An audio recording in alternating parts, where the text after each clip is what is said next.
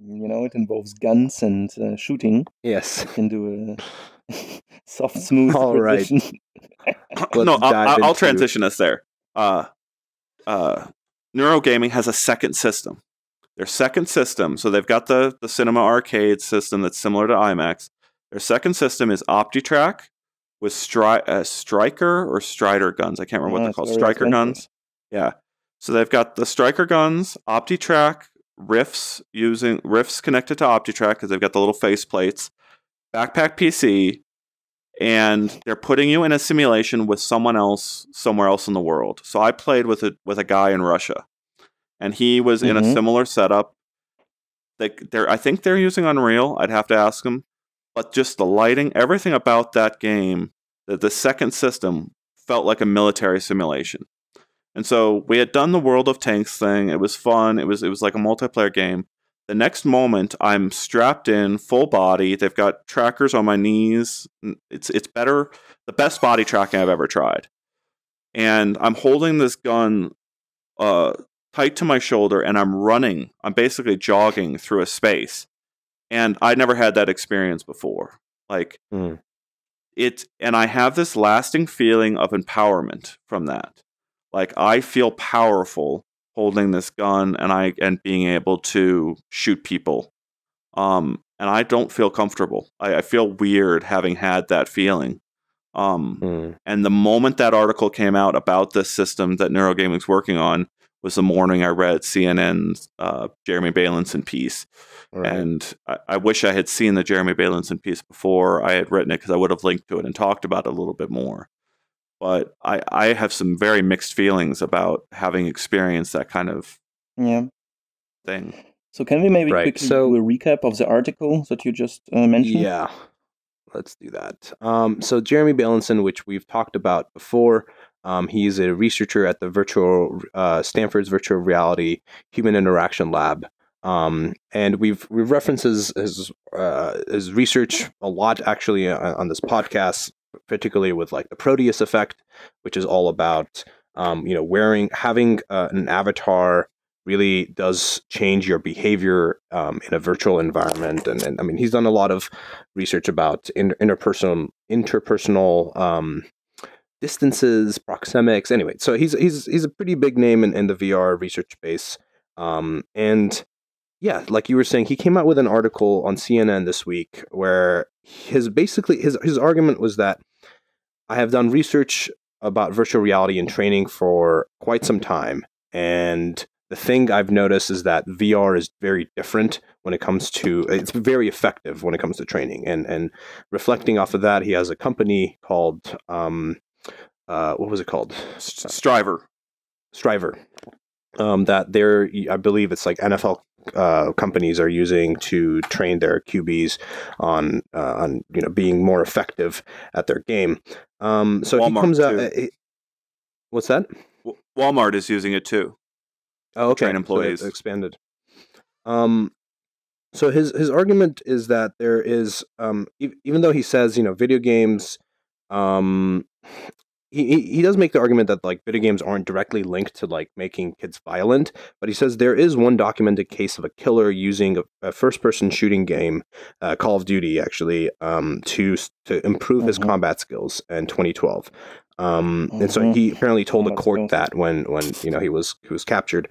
Um, Mm-hmm. so he makes the argument that VR is obviously a, even more realistic and, and, and more of a training thing uh, than what Call of Duty could have done in 2012. Um, and he makes an argument that says the military has been using virtual reality to train soldiers for decades. Um, and but his Mhm. main argument is that uh, virtual reality games are are going to cause people. uh, They're not going to cause people to become violent, um, but that um, it's but if a possible mass shooter wants to hone his craft, we shouldn't hand him an over-the-counter digital boot camp. So, so this is I, I think that's the mm. main point that he's trying to make, right? Like it's not that try- he's going to make kids kill each other or, or become violent all of a sudden, but if someone does want to do that and he has VR at his disposal, he could possibly use it to train himself to to be more effective at it. I think on the on the surface level, we probably won't disagree with that point specifically. However, there's there's some interesting um, things that we we called out our community on Discord, um, including actually one of the people that came in to talk about that is Anton, who Anton uh, from uh, from uh, Rust uh, Ltd. We've had him on the show before. He yes, he's he's the lead developer on um, H3VR, the hot dogs, horseshoes, and hand grenades, which is actually I think one of the top selling games in VR, and it's basically like, the most realistic gun simulating gun simulator in VR. So he also has been approached by a lot of military contractors, a lot of people that Mm. build guns, sell guns, and uh, he actually he's he's fully independent. He um he's also an interesting person to talk to about guns because as much as even though he's building a gun simulator, he's like a big uh staunch person on gun control and he's like you know i love guns or like i like guns but i don't want them in everyone's hands uh, which i think right now there's such a hot debate going on in america every is, couple of months at this point uh, where you know it's it's either people are like ban all guns or don't ban all guns you know, we should have more guns arm the teachers um, so i mean we don't want to make it uh, we don't want this topic to be a red versus blue thing because I mean that that doesn't go anywhere. Um, and we want to keep this kind of more research based, more science based, and, Mhm. talk about ideas. Um, so the the Yeah. I want to I want to read his comment first because he I think Anton is probably one of the more uh, educated people on this topic. Um, you guys can't see it on the screen very well, so I'll read it out loud. Mm, Um, so his his argument is that um, to be, I said something. Oh, actually, here, let me read this out loud. Um, training someone to be an armed combatant and to uh, possibly enact a heinous uh, act. The skill set in question is actually several com- uh, completely separate ones, and he talks about like knowing how to like on to, to work with jams and failures of a gun, the abstract tactical understanding of how to maximize attacking a soft target, the kinesthetic experience of firing a gun, the ability to aim down a real sight. You know, it's not a you're not looking down a Call of Duty holographic sight or, or whatever in VR yeah, exactly. um, the exposure to operating a real gun, um, all these things. So he goes by point by point and he talks about that it's not that VR can't be used for those things, but it's that you can achieve and you can train for those things better using um, Yes. videos from YouTube, using airsoft guns, using um, even ta- paintball guns, actually yes. and and VR actually is probably going to be the more expensive and and he argues that it will actually train the wrong muscles especially when it comes to Yes. shooting to uh, to to doing things with guns I'm like I'm not experienced enough to like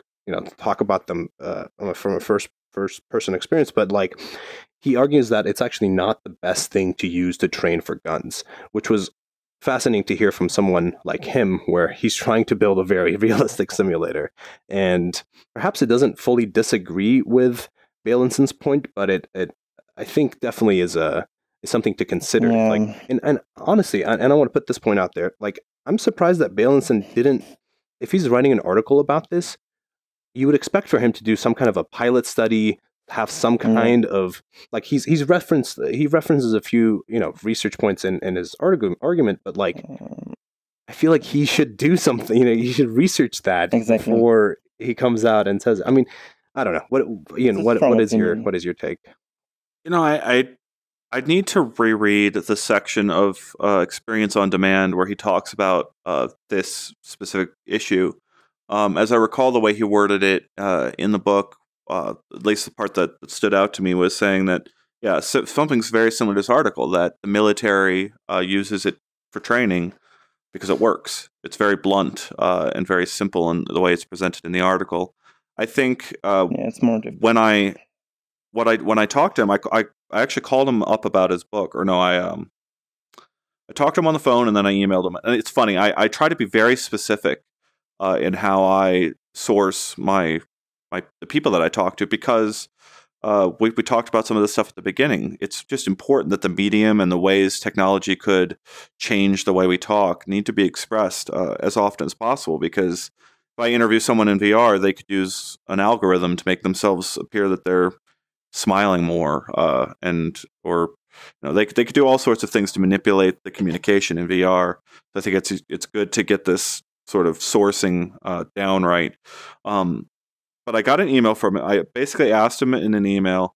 Um, in one part of your book, you say that field trips in VR could be great, but they're not great yet. The, the, the difficulty of building a VR field trip is just astronomically difficult to do, and no one has really done it yet. And he, he, he clarified in a follow up email he thinks just the curriculum needs to get better for better VR field trips.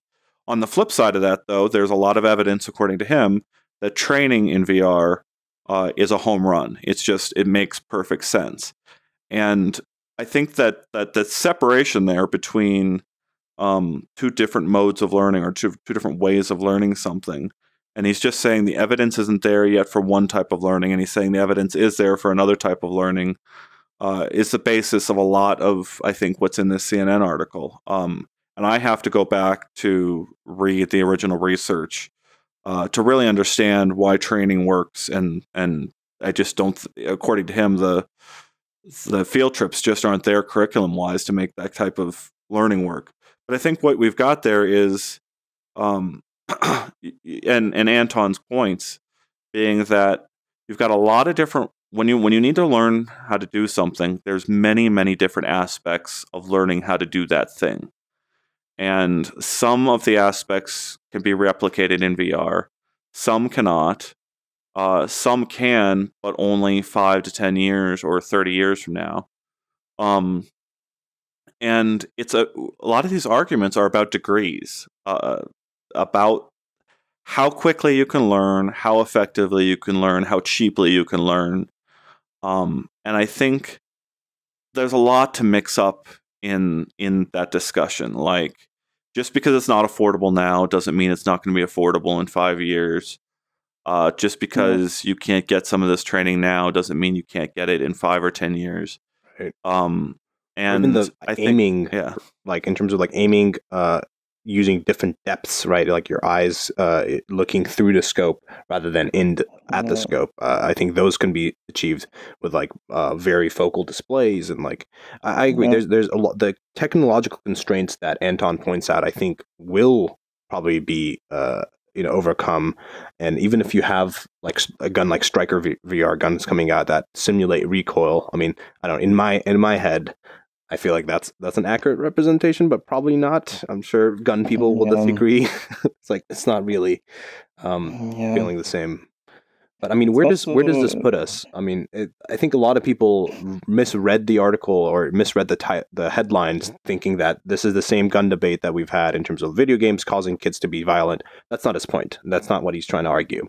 Um, there's there's good amount of research that says that there isn't. Although I have seen some recent stuff that says there is a more of a um, th- there there are there's some research that says that it might make kids more aggressive, um, at least on a short term period. topic.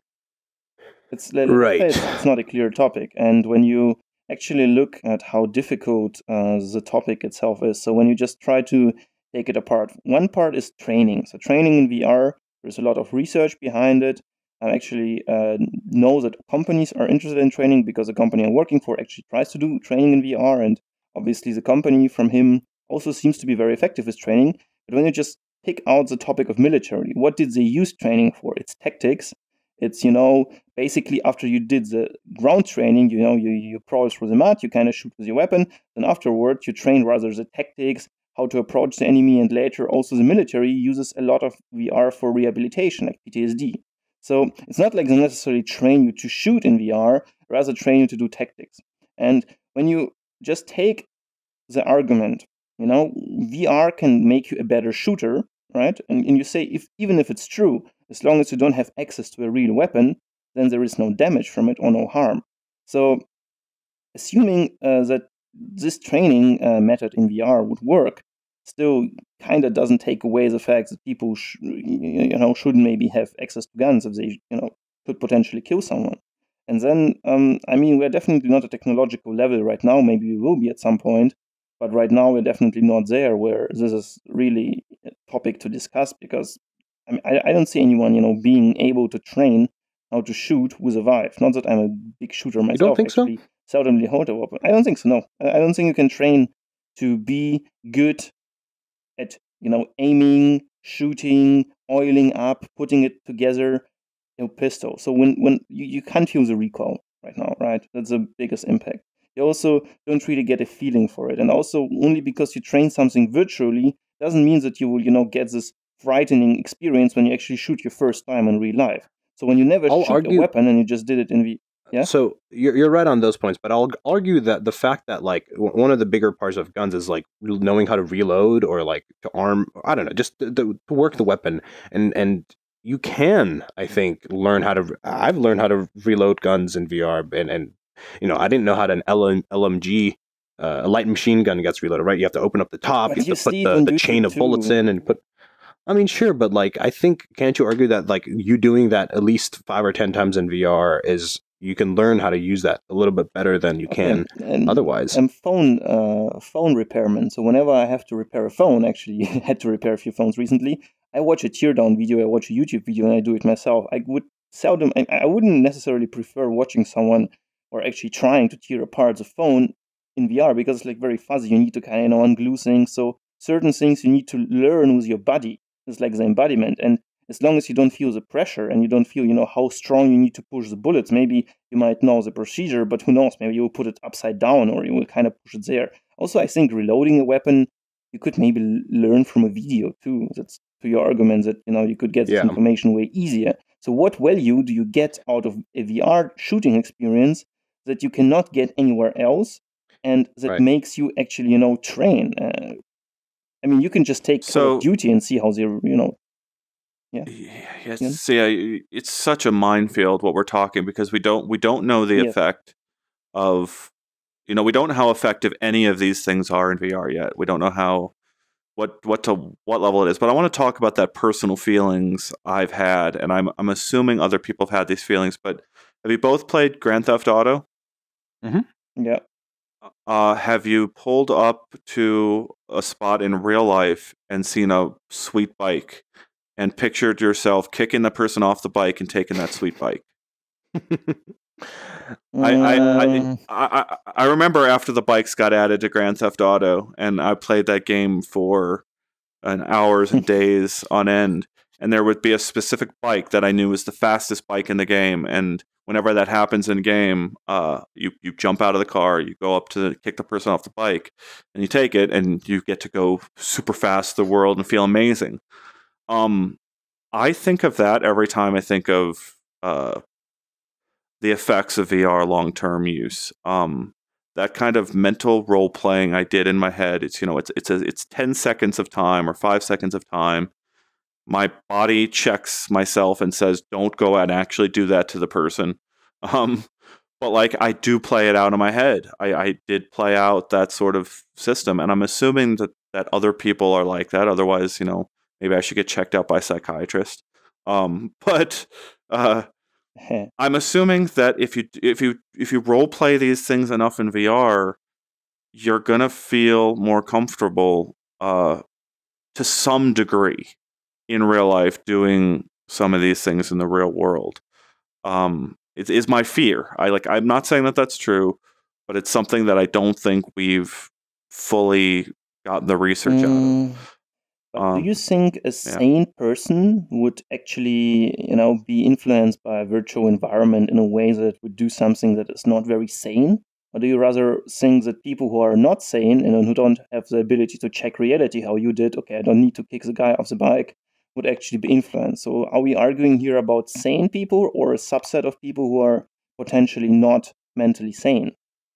It's a great question, and I yeah, think and- uh, a- age ba- deals with that question somewhat. I think. it does, and I think Bailenson Age is also important, yeah. he he was kind of specifically um, limiting himself to talk about the people that are on the fringes of, of that they they have the motivation and the Yeah. intention to want to Yeah. com- to do that you know, to kick someone off the bike and to get to that point they want to train themselves rather than rather than the opposite which is like you do this you know you play it you for fun and then um would will that make you want to actually kick the person off the bike and steal it um i think so G- gta is a great is a great example because it's it's such a f- weird almost contradictory thing where they they're it's a Hmm. very realistic game in a, in a lot of in, in some senses and it's a very unrealistic game in a lot of other senses but it's also a very um it's also a really good game. Like it's a staple of Yeah. in like the gaming industry in terms of storytelling, in terms of world building. Like, I mean, it's one of my favorite games. I'd say GTA Five. However, like I remember hearing from um someone that was making a GTA Five VR mod. And the the creator themselves was like, "This is way too brutal, dude. Like, I don't even know if I want to keep playing this. Like, There's a video um, when they did that mod of a person in one of the walking simulators. I can't remember which one, um, but their feet are walking, and that's moving them in GTA. And they walked into a corner store and just shot the store owner, and then ran out and started just shooting people on the street. And you see their little box in the corner showing what they're doing in real life, and they're holding a real gun and they're doing the walking motion in the little walking simulator and it's just you watch that video and realize yeah that's too far like it's i, I hate Mhm. using the, the the pornography or obscenity uh, guideline but like it You'll know it you you look see at that it. and go that's that's yeah you'll know it when you see it and that that you know when you see it Oh, it's a little bit Right. too much and That's do you want kids doing that like I- an adult doing that is one thing a 15 year old or a 10 year old doing it is something else Yeah, I, I, I agree with your point, but um, I would make an, an um, maybe a reference to history. So, for example, when Doom 1 or Doom 2 came out, uh, I'm pretty sure it was also in other countries, but in Germany it was kind of you only can buy it when you're 18 or you're not allowed to officially show it. Now, after, you know, how, how long is it? 20 years, you look at Doom 2 and you think, okay, that's just a cartoon game. I mean, no one would actually take it seriously. So they even removed it from the list of banned games. So when it came out, it was like so shocking. Oh my god, you can shoot at monsters. It's so realistic. I mean, even if you look at advertisement from you know 1998, 1999 about virtual reality, oh my gosh, so crazy. And also the games industry remember, oh said, oh whoa, it's so evil. You're shooting at each other. And turned out, no, it's not that evil. And obviously, well, you could make an argument that you.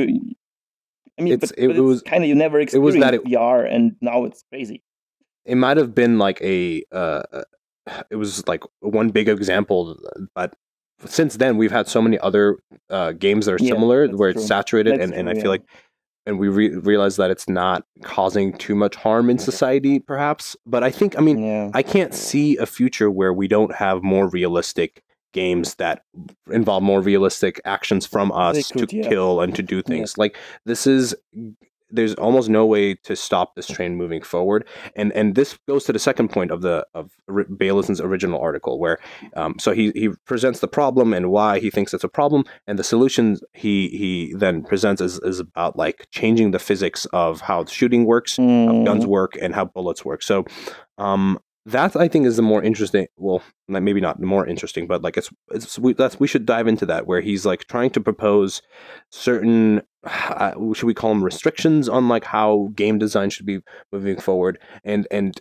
he he tweeted about this where he was like don't don't cling on to the the physics or the the bullet curve thing that he suggested. He's like that's i'm not a game designer you know like i'm just trying to put out suggestions as to like let's think differently in terms of the physics. Um and and so, maybe anton actually to paintball. So Anton is, is in agreement of this, where his game H3VR doesn't include humans. It's only like he has like either um, shooting ranges or um, like targets or even machines like robots that you shoot. And he's like, I don't want to create soft targets for you to shoot. Mhm.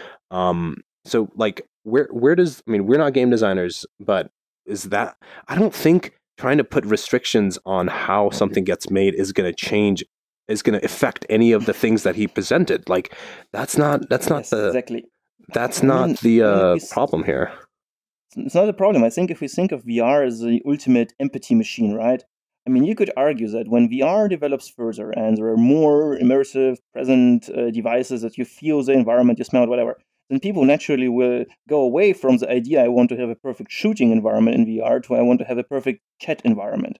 So it might be that naturally um, the users will pre- prefer content that is not necessarily warlike because you don't want to experience war, I think. And another argument is maybe, do you still hear me? hmm Yep. Yes, because my, um, my game froze. And another argument would be um, like when you look at paintball, like paintball is very realistic to actually shooting. So how would you argue is paintball, you know, softened by any guidance to make it not combat-like? So what did people do about paintball to make it, you know, less training like or less actually enabling you to do a real combat. And then maybe you could do the same things that you did over paintball. You know, actually have splash. You don't have blood, I guess. I guess one important part, part is you should not maybe see blood coming out of a body you shoot at. Just paint. You just mark them. The bullets are colorful. So I know. Yeah. A lot of a lot of the debate, a lot of the fight is um it seems rooted in all the all the failures that people see in the current regulations and and way mm-hmm. of doing things meaning uh, we have a rating system for video games that helps parents and uh, families decide what's appropriate for their kids. Uh, I don't think there's a similar rating system for you know around every VR game that's out there yet. And when you put the headset on, uh, it's often very hard for the people, other people in the family, to know what the person in VR is experiencing. Um, yeah. So uh, I, I, think we, there's a lot of have that like you don't have that moment of the mom walking in and seeing the kid, you know, like either watching a sex scene or like shooting, uh, you know, whoever. But this would be awkward. Yeah. So I mean, there's a lot of fa- like I like uh, our rating system is great at telling people what you should do with you know what you how you should treat a video game. It's it's really effective. Um, and people in the industry don't want to have a rating system imposed on them uh, by some kind of regulatory body. And then you've got mm-hmm. the flip side of that, where guns, and you've got these groups of people that are just completely opposed in how we uh, treat guns, use guns, uh, legalize guns. Um, and you've got the cross border situation where the laws are completely different in every other country except for the United States. And so you get this debate that just how do we apply the rules of current world to the rules of VR? And it just doesn't, it's so different. Matching up and figuring out how you treat it in VR is is a monstrous task. Like I I just feel bad for anyone that's trying to figure out how to provide even the simplest guidelines, like how you how you create a video game or a VR game for a kid is potentially completely different to how you make a VR game for an adult who mm-hmm. has a solid grip of reality and wants a realistic military shooter because that's the kind of content they want. Like that's always the argument is you've got the responsible people that aren't causing problems and you've got irresponsible people and is it going to make it more likely for them to be irresponsible is a complete unknown right now right and and i think the argument mm-hmm. goes into like the uh, in terms of like rest- are you restricting art if you're trying to uh, restrict yes. the, the the type of gunplay that you're going to have and and it goes to again to gta where like it is a realistic and like brutal game, but it is like a very good game, and it, it actually, in a sense, where like mm-hmm. some there, you know, there's anti-war movies, right, where they include so much violence, where you realize the the the, the, the craziness, the, the the the inhumane aspects of war, where we shouldn't try and actively engage in. Um, and, and and GTA can probably be argued in that similar realm where like you should probably not be enjoying the, the fact that um, you're doing these heinous, heinous, heinous things. Um, but so yeah, I don't think restricting is is the right thing forward because restrictions don't work in any sense. Um, when you have However, even if you put laws in the U.S. Hmm? We, we have the 13 year old restriction. I think you're only, I mean, technically you're allowed to use Oculus only when you're 13, I think, by the, uh, um, by the terms. And I, I think one uh, guess, benefit. Guess who? You guess who's playing Job Simulator? Yeah? guess who's playing Job Simulator? Yeah, okay, you know, like yeah, I mean, true, but but but but you could also say that one of the benefits from those created ecosystems like Oculus or you know the wo- the, wo- the walled garden is, for example, there is basically no way a young adult could access VR pornography easily. Like it's way harder to access VR pornography than accessing no- normal pornography, for example. That's so for now. There's that, that's definitely garden, a different argument. Yeah, that's definitely a different. But argument. it's also that um, you maybe should, you know, you, I could argue let Oculus decide what content they want to show, right? Not that I find yeah, it good, but it would be a solution, maybe. I think, and I think they do. But I mean, where where should we where should we draw our, our conclusions from this, guys? Um, do you think ha- was on? So okay, that's that's one conclusion. We need we need more research on this topic. Um, was Bailenson um, was he on like was his argument sound and valid? Do you think? I I think there's I think there's a lot we need to explore here. Um, I I I still want to.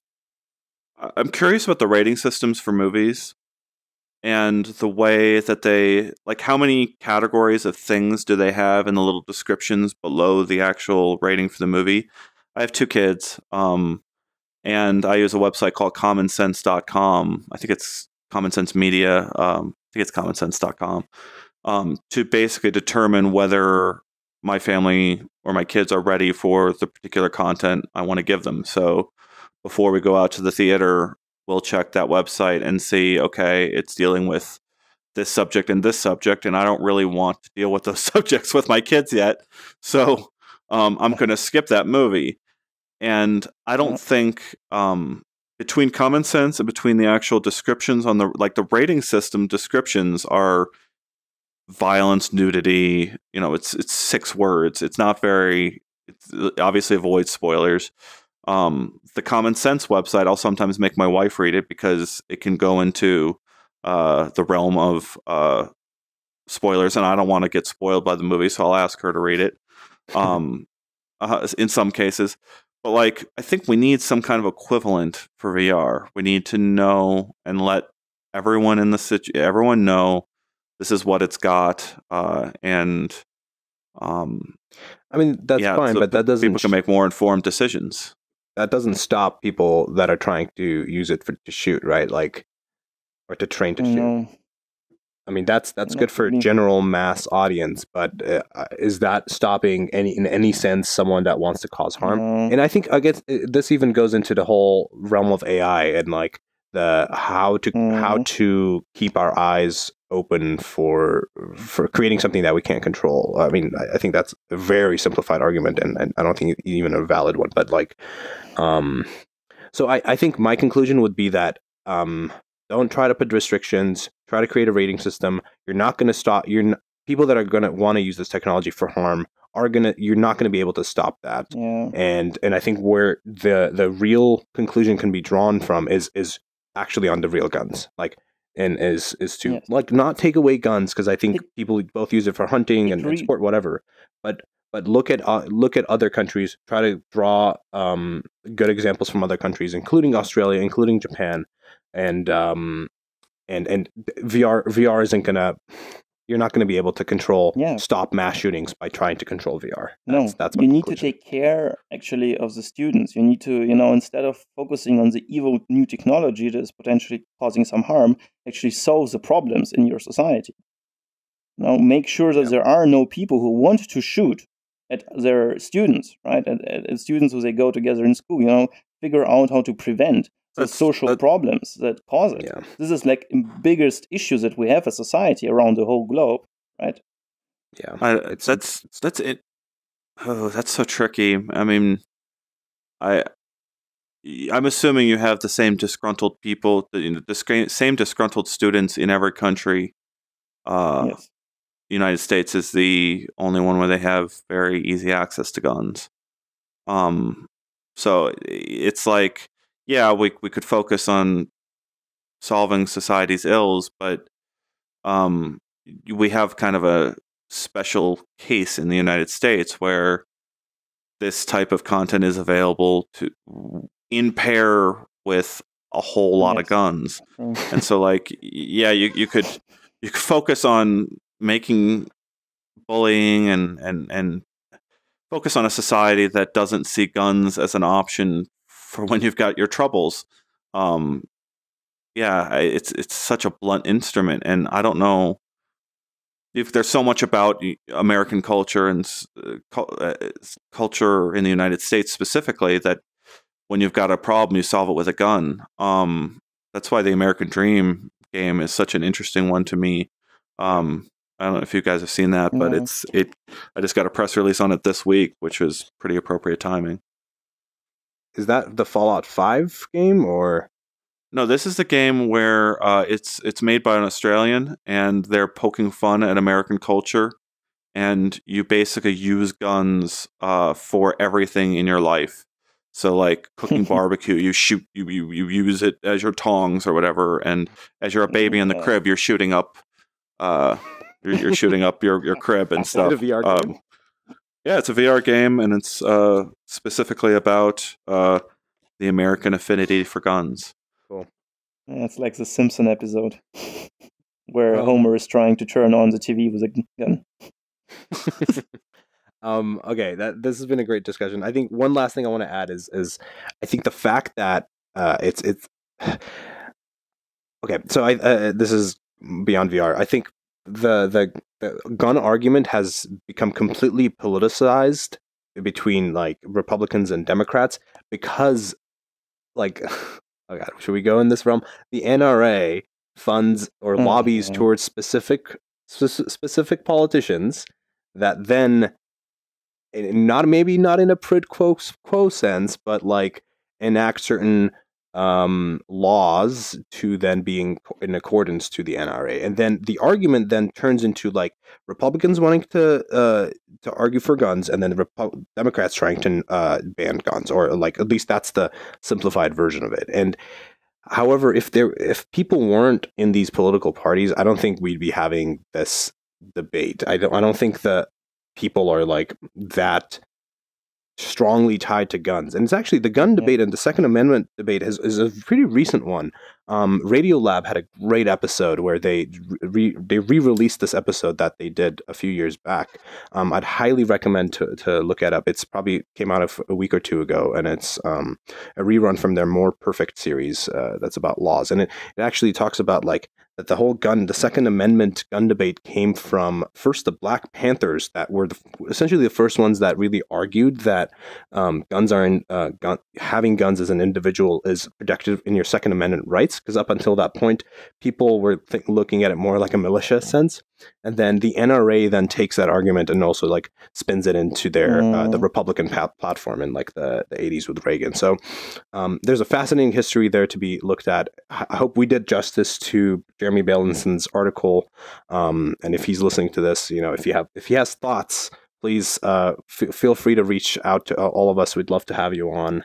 Um, to, if if we did any kind of injustice to your arguments, please let us know. Um, I tried to kind of break it down to like a, constructive philosophical argument that we can um, go into. So Because Yeah. you got into the red versus blue thing. Um, I want to put out one one thing I hope happens in VR is I hope uh, VR becomes a platform for debate that is more effective Yeah. than uh, current platforms for debate. mm, unlikely. I don't but yes, know. I hope for that. yeah, right. It's like it's so far It we've got awesome, you know, right? VR chat, which is like meme culture, um, which takes meme culture to an extreme. But um, I the red versus blue, the way when I hear all these debates happening, the thing that frustrates me about everything that's going on is it always feels like the argument and the discussion is framed by someone else. Every, like you have to have your debate and your discussion in the framework that someone else has defined for you, and that's in right now it's either the Democrats or the Republicans, and it's either you know like you were saying, and I would hope that we can get some kind of civilized debate that helps people understand both issues more deeply and um yeah it's unlikely but it's definitely one of my hopes that uh the, all the social interaction that i hope comes to vr uh, makes it possible to have really effective debates over time Agreed.